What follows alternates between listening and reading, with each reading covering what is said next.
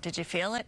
We're talking about that 4.7 earthquake centered in Malibu this morning. It rolled through just before 7:30. There are no reports of anyone getting hurt or any real damage. Bob live with us uh, for Dr. Lucy Jones's conference. Uh, a reminder, we live in earthquake country in case we needed that reminder. Hi there, Bob.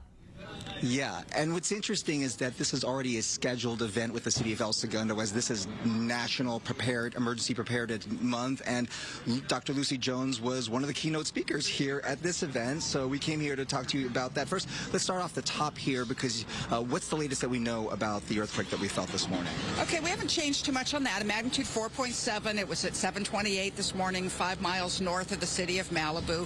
Widely felt across the region. We have reports of, of people feeling it in San Diego uh, and well north up into the uh, close to Bakersfield. So it was widely felt and not too surprising at a 4.7. Uh, it's had uh, numerous aftershocks, including two that are above three already.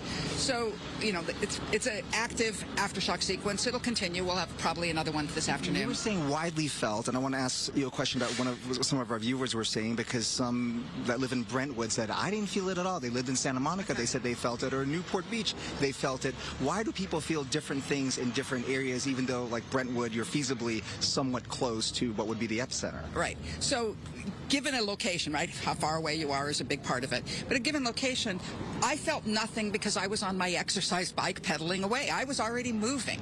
If you're moving, if you're walking, it's very hard to feel it. If you're sitting quietly, you're much more likely to feel it. If you're sitting quietly on an upper story of a building, you're even more likely to feel it because the building can amplify the shaking a little bit. I was asking you about the app because people in our newsroom also said, hey, my app notified me. And so right.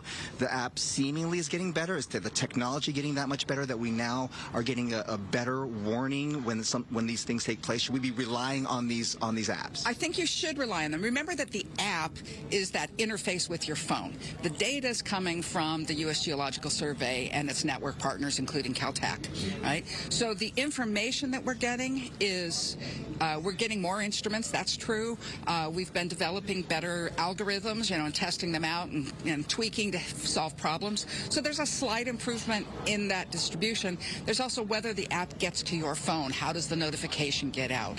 And um, uh, but yes, the solid information about early warning is good. And I was saying they're, they're working, but you're saying you also kind of joked that we're just getting more of these well, earthquakes. Anyway. right. If you feel like you're now getting more than you used to, it's because we're having more earthquakes that are worth notifying. They don't want to notify you if you aren't going to feel it. They do if you if you're going to feel it, you you want to get a notification so you know your system's working. So I'm sure people here at the El, uh, City of El Segundo are glad you're here because you're going to give them some valuable information. How important are these, and what's your message going to be for this city and other municipalities, people at home, businesses?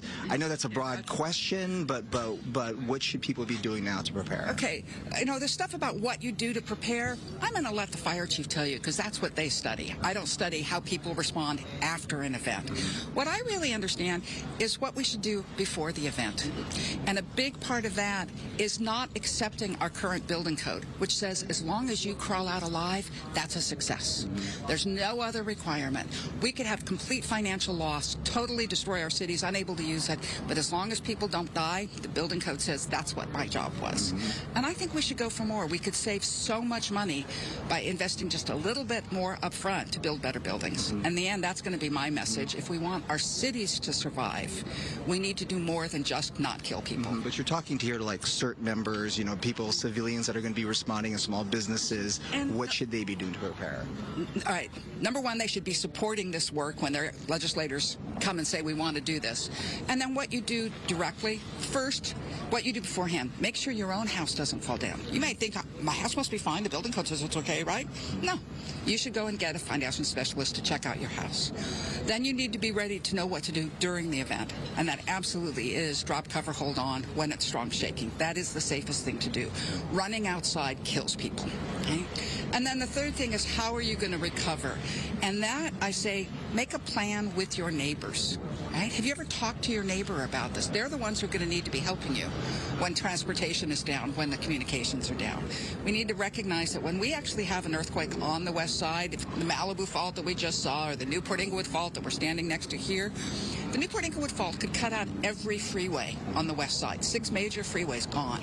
How are we going to get around after that? Do you have a plan for it? Do you know how to know where your family is? Talking about it beforehand is probably the most important thing we can do. I just want to ask you about the drop cover and hold on. And this is Right. because I was talking to the chief here, and he said here at the fire station, everyone did that when they as soon as they felt it. They asked everybody here how many people actually did that. And virtually no one did it. So we, we will we know when we actually really need to drop cover and hold on. If you wait till you need it, you're not going to have gotten it done. Okay? Doing it when it's not quite that bad is really important for developing that muscle memory.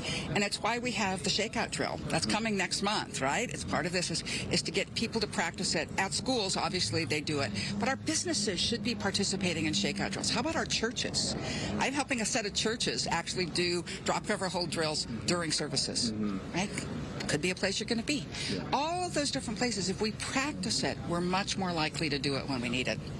Uh, I I kind of looked around and thought, hmm, is this? An, I knew it was, but then you know. I mean, I, I was, I, so the last one I felt was the 3.4 in South Pasadena. I was actually in South Pasadena, and it was so quick that by the time you realize it really is an earthquake, the shaking was gone. So nobody drop cover hold on because why bother to do it when the shaking's already stopped? So you do it. You do I it. I do it. I do it. I, I just had to and I, ask. I've practiced, and I've just we actually timed it mm-hmm. because this is one thing about getting the early warning. What do you do with three seconds warning? Right. Well, it can get you started doing that drop cover hold on. Okay. I, it take, took me se- ten seconds every time I practiced and tried to time it. Ten seconds before I was under my desk. so, so we should be laughing at the news anchors if they start going underneath I the desk. I really like it if the news anchors would do it and model correct behavior. There you go.